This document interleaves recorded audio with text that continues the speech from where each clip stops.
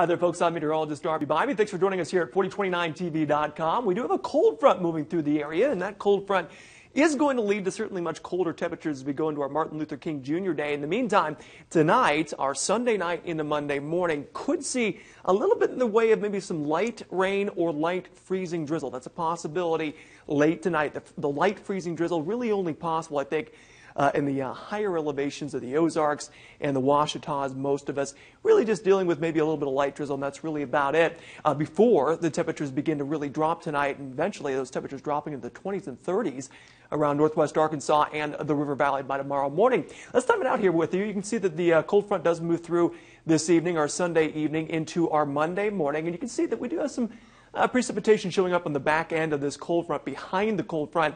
Uh, but there's just not enough cold air as of about 4 a.m.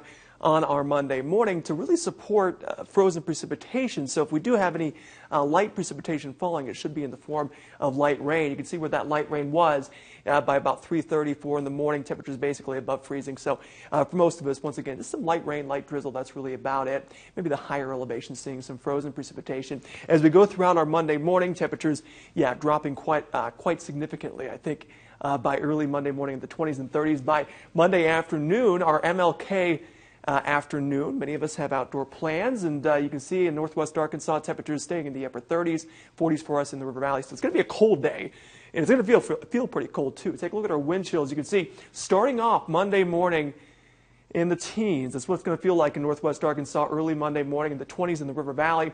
By the afternoon, we get that sun return. Those temperatures go up. The winds are going to stay strong out of the north about 10 to 15 miles per hour, uh, but because those temperatures will go up into the upper 30s by the afternoon, we'll see wind chills uh, respond a little bit in the 20s in northwest Arkansas, in the 30s and 40s in the River Valley by tomorrow afternoon. So it's going to feel cold with that breeze uh, throughout our Martin Luther King Day, though we will have that sun, as we can see with our forecast here, timing things out. Uh, right through our Tuesday morning. You can see that we do stay, I think, dry through Tuesday morning, albeit very cold Tuesday morning. Uh, the bulk of the light snow uh, possible falling uh, between Springfield and Kansas City, but that's going to basically stay out of the viewing area. So once again, looking at dry conditions right through Tuesday morning for most of us and into Tuesday afternoon. Let's take a look at the three-day forecast.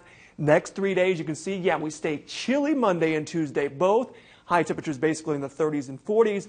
And then we get to Wednesday and we start to warm things up. Now, it's possible Tuesday morning, early Tuesday morning, could see a little bit of light freezing drizzle in northwest Arkansas, but uh, you can see by Wednesday afternoon, warming up. And that warm up will continue. We'll tell you all about that coming up tonight on the CW at 9 and on 4029 at 10.